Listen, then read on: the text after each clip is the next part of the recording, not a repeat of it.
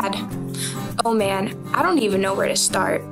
I once upon a time felt very alone, lost, and like no one was there. But that all changed when I received the best dad in the world. You're always here for the worst parts, supporting me when there is nothing to hold me.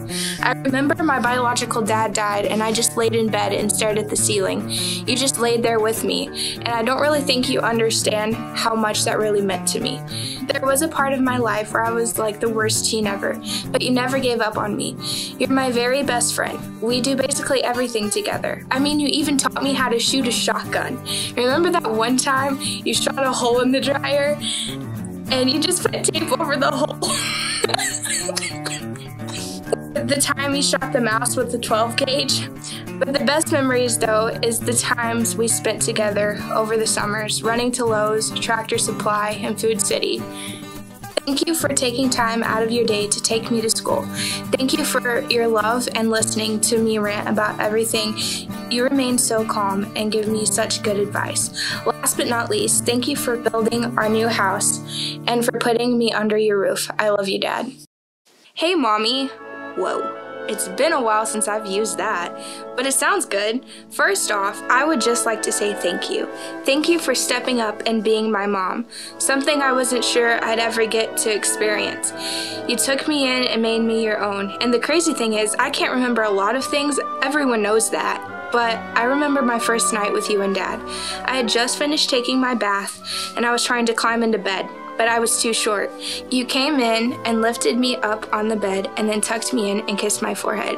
For the first time in months, it finally felt like I had a mom. I know it's been rough, like super rough, but I could never express how thankful I am for you taking the role and stepping up to be my mother. I love you so much. Not only are you the best friend I've ever had, but also the best teacher. You took time out of your nights to give me extra help on whatever subject I was struggling with. You always made sure I was getting the best of the best education. Now, thanks to you, I have good study habits, and some of my worst subjects are now my best.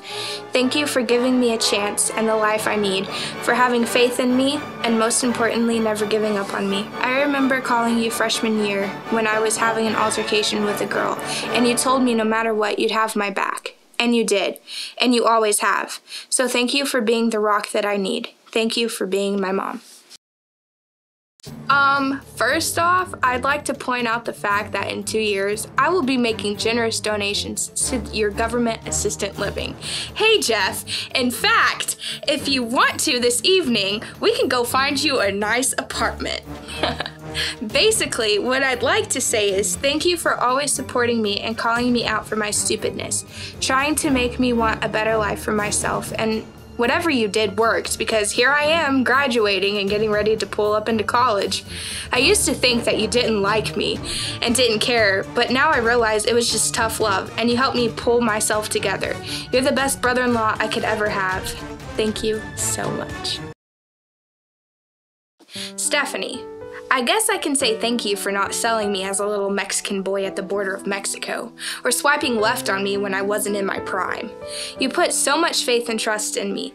You helped me in ways I can't even explain. I literally don't know where I'd be without you. You're an amazing sister, and I appreciate your honesty and being here for me so much. I know I can talk to you about anything and you'll help me, and it'll stay just between us two. Even though we're not blood related, I can't tell the difference. Thank you for accepting me into your family and giving me a chance. It's almost like you're more than just a sister, like you're my best friend. I remember this one time I was working on some poetry homework in the third grade and I couldn't understand it. You sat down and helped me write the whole thing. You're always giving up personal time to help people. I can't look anywhere around my house and not think, oh, Stephanie helped build that. Thank you for all your contributions and for understanding my love for the office and gummy bears. Thank you for putting faith in me and never giving up. It means so much to me. I love you. Hey Trish and Keith, this is just a shout out for being the best plug during the hardest parts of these last two years. You all my mainstay. Love you guys huge.